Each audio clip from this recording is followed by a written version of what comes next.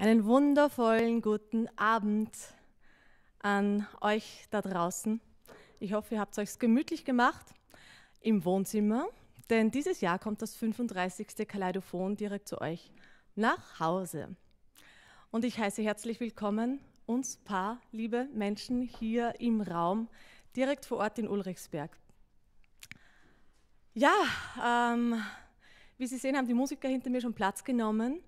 Wir sind bei Tag 2 von 3 mit jeweils zwei Live-Konzerten direkt hier vor Ort, die dank unseres lieben Florian Gruber und Markus äh, Lubey, die direkt vor Ort eben Kamera und äh, Bildtechnik machen, zu euch nach Hause geliefert wird, über die Streaming-Plattform Echo Räume. Und da möchte ich mich auch bedanken ähm, bei Dieter Kovacic und Arnold Haberl von der Streaming-Plattform Echo Räume dass sie das Ganze möglich machen und möchte mit der Danksagung gleich noch äh, weitermachen, weil sie auch da ist, liebe Nina Polaschek, stellvertretend für den ORF und Frank Kämpfer vom DLF. Denn ihr Lieben, es wird nicht nur gestern, heute und morgen direkt Live-Übertragung geben, sondern auch Zusammenschnitte dieser Konzerte.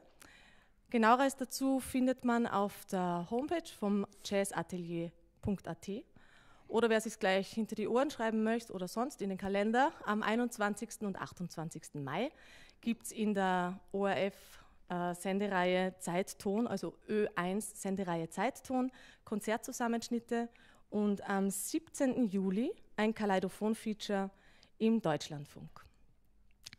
So, meine Lieben, dann lasse ich Sie nicht mehr lange warten, denn hinter mir hat schon ein Streichquartett Platz genommen ein Deutsch, äh, Liss, Lissabon-Brücke, äh, eine Deutschland-Lissabon-Brücke quasi.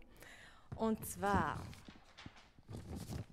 begrüßen Sie mit mir Dietrich Petzold an der Violine und Viola, Ernesto Rodriguez an der Viola, sein Sohn Guillerme Rodriguez am Cello und Matthias Bauer am Kontrabass.